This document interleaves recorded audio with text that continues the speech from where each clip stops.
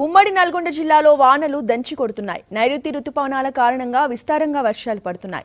నల్గొండలో గోడకూలి తల్లి కూతురు మరణించారు. యువతికి నెల కిందటే వివాహమైంది. గోడకూలి ఆమె మృతి చెందడంతో ఆ గ్రామంలో విషాద ఛాయలు అలుముకున్నాయి. మరోవైపు ప్రాజెక్టులు నిండుతున్నాయి.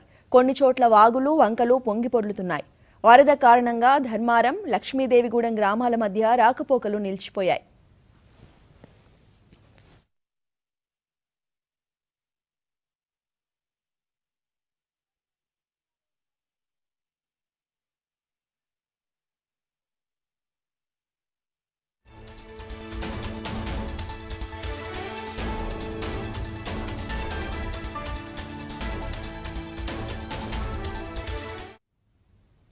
ఉమ్మడి నల్గొండ జిల్లాలో భారీ వర్షాలపై పూర్తి సమాచారాన్ని మా సీనియర్ కరెస్పాండెంట్ అశోక్ రెడ్డి అందిస్తారు. గత రాత్రి నుంచి ఎడతెరిపి లేకుండా కురుస్తున్న భారీ వర్షాలతో తెలంగాణ వ్యాప్తంగా కూడా ఎక్కడ చూసినా కానీ వాగులు వంకలు పొ- పొంగి పొలుతున్నాయి ఉమ్మడి నల్గొండ జిల్లాలో కూడా అదే పరిస్థితి నెలకొంది. ముఖ్యంగా తెల్లవారుజామున ఐదు గంటల సమయం నుంచి కూడా భారీ వర్షం కారణంగా నల్గొండ పట్టణంలోని పద్మనగర్లో కూడా గోడగూలి తల్లి కూతురు కూడా చనిపోవడం జరిగింది. అదేవిధంగా పలు ప్రాంతాల్లో వాగులు వంకలు కూడా పొంగి పొర్లుతున్నాయి ప్రస్తుతం మనం పానగల్ బైపాస్ జంక్షన్ దగ్గర ఉన్నాం.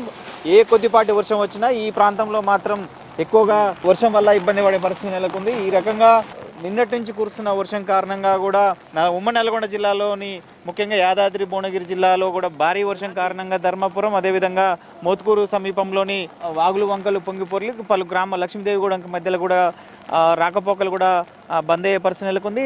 తిప్పర్తి మాడులపల్లి వేములపల్లి మండల పరిధిలో కూడా పలు చెరువులు కూడా నిండి అలుగుపోసే పరిస్థితి నెలకొంది. అదేవిధంగా నల్గొండ జిల్లాలో కూడా పలు చెరువులు కూడా మత్తడి దూకే పరిస్థితి నెలకొంది. ఈ రకంగా వర్షాల కారణంగా కూడా రైతులకు ఇది పంటలకు మంచిగా సాగుకు యోగ్యంగా ఉన్నప్పటికీ కొన్ని లోతట్టు ప్రాంతాల్లో మాత్రం పరిస్థితి దయనీయంగా మారిందని చెప్పుకోవచ్చు. యాదాద్రి భువనగిరి జిల్లాలో భువనగిరి పట్టణంలో కూడా సూర్యాపేట కూడా సూర్యాపేట పట్టణంలోని కూడా శివారు ప్రాంతాల్లో కాలనీలు నల్గొండ పట్టణంలో కూడా వీటి కాలనీ సహా ఈ పానగల్లు సమీప కాలనీల్లో కూడా వరద కారణంగా ఇళ్ళలోకి నీళ్ళు వచ్చే పరిస్థితి నెలకొంది.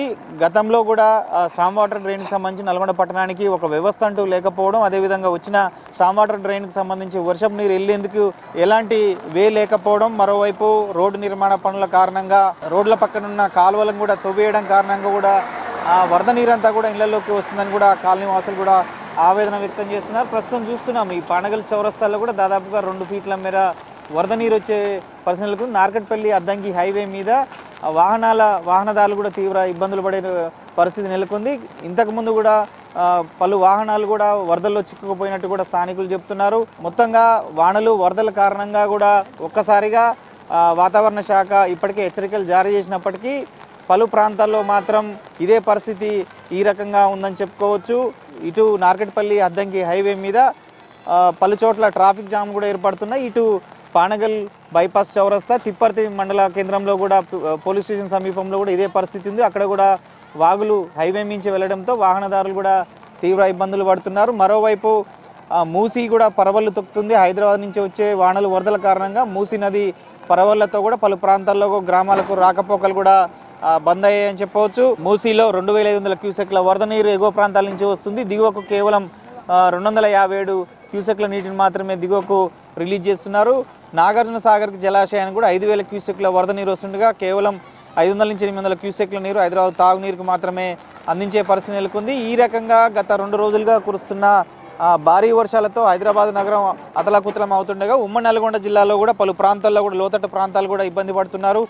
తెల్లవారుజామున ఇద్దరు చనిపోవడం మళ్ళీ పలు ప్రాంతాల్లో కూడా మూగజీవాలకు కూడా ఆవాసం లేకుండా అయిపోయే పరిస్థితి ఉంది వర్షాల కారణంగా ప్రజలందరూ అప్రమత్తంగా ఉండాలని నల్గొండ యాదాద్రి సూర్యాపేట జిల్లాల కలెక్టర్లు ఇప్పటికే అలర్ట్ చేయడం జరిగింది. మూడు జిల్లాలకు సంబంధించిన ఎస్పీలు కూడా సిబ్బందిని కూడా ఎక్కడైతే లోతట్టు ప్రాంతాలు అదేవిధంగా వరద ప్రభావిత ప్రాంతాల్లో కూడా సిబ్బందిని కూడా మోహరించడం జరిగింది. ఈ రకంగా ఉమ్మడి నల్గొండ జిల్లాలో వానలు వరదల కారణంగా కొన్ని చోట్ల ఇబ్బందులు ఎదుర్కొనే పరిస్థితి నెలకొంది. ఇది ఇక్కడ పరిస్థితి. కెమెరామెన్ ఉపేందర్తో అశోక్ రెడ్డి పానగల్ బైపాస్.